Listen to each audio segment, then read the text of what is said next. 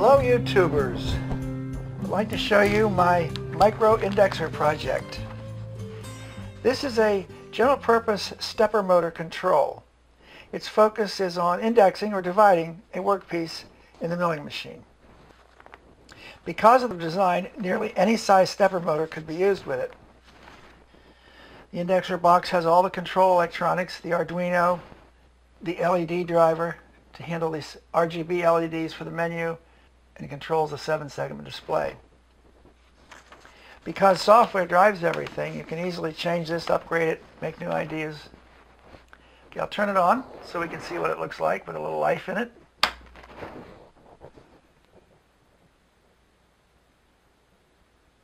There's our flashing 8 display, which is done in software.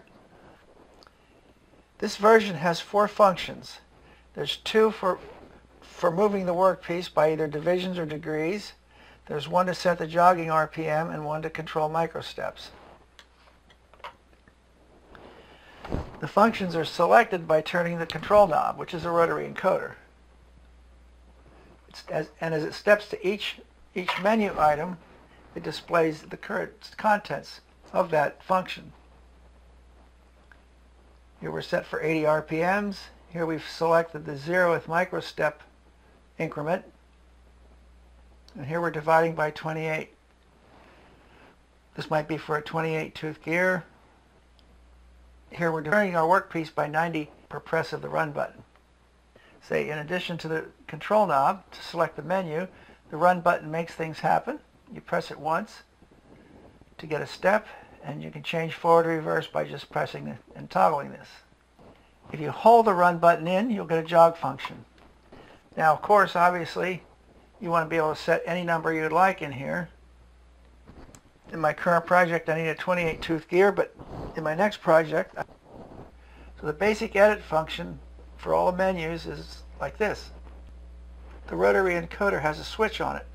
Press, we go into edit mode. Now, any turns of the knob will increment or decrement our display. So whatever I want to do here, I can just turn this in and say I want a 43 tooth division for whatever reason. Press it again, it's locked in, written to EEPROM, and now we'll do a step, we'll do a 43, 143rd step. There it is. Not much. So for whatever reason, if you're designing a special wheel gear,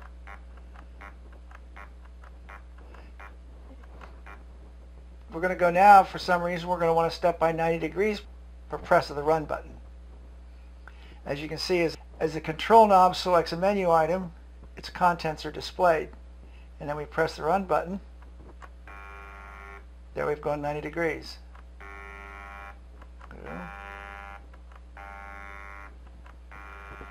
And we're back home again. The RPM feature, what I call RPM, sets the jogging speed. When you're in the division function or the degree function, if you hold the button down for a, a long press, it'll, it'll do a jog.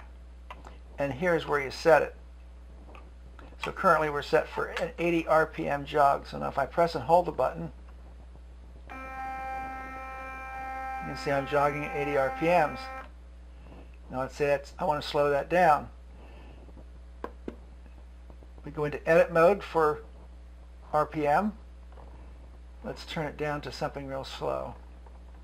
Here, 10 RPMs. Lock it in. It's an EEPROM. And we'll do our jog again. Now, if I was up in, in doing my 43 tooth division, and I decide I need to jog it for some reason, I just hold the button in and we can jog it around to some spot and then we'll continue pressing it our div division 43 or if we were working at 90 degrees we'll step from there. So the jogging, the RPM is, is like a, a global function that's uh, mainly affects how fast it's on a long press or a jog. Microstepping, the microstepping menu It's currently related to the Big Easy driver, which is what's inside here. Big Easy driver provides five microstep options. You go the default 200, 400, 800, 16, or 3200. And the way I control this is I, I display 0 through 4 on here, which gives me five, five possible combinations. So same way, if editing this, if I want to try a finer microstep, my edit button, I can go 0, 1, 2, 3, 4, and it just cycles through that, through modulo arithmetic in the software.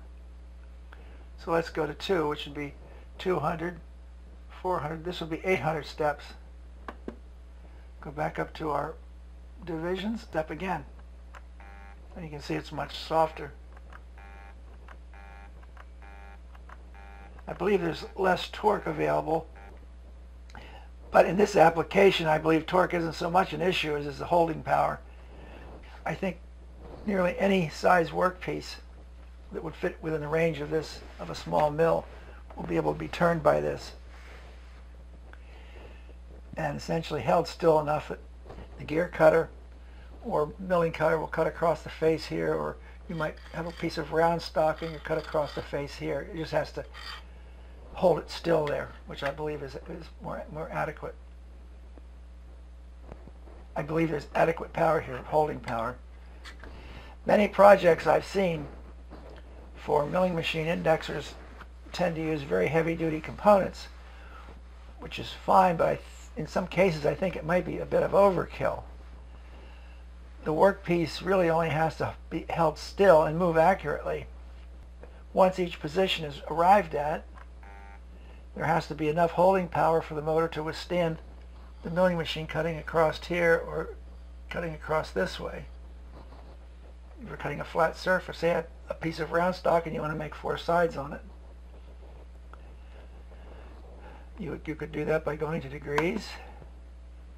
90 would give you four. Say if you want eight sides, you'd take, turn this down to, ooh, let's go down here to 45.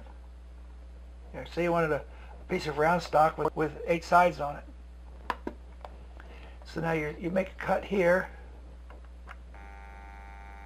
step it, make another cut across, make another cut, and so on. The motor has to move the part accurately and be able to hold it while a cut is being made, and I believe a smaller motor is, is plenty for this. Commercial dividing heads are large and heavy, and I think that's just more traditionally the way they were made before electronics were available. So, this is the overall of the uh, microindexer. Its essential claim to fame is a using a seven-segment display and a rotary encoder to increment the display and, and your stepping counts. They're saved in EEPROM and available as a, at a run switch. The, the motor is connected by the 4-pin DIN, so you could switch in any motor as long as your power supply were adjusted correctly. Very trivial changes inside.